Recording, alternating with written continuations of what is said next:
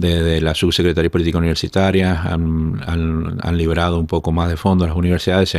estamos volviendo a encauzar todas las actividades, eh, fundamentalmente aquellas eh, actividades que no eran las académicas. Las académicas siempre estuvieron aseguradas.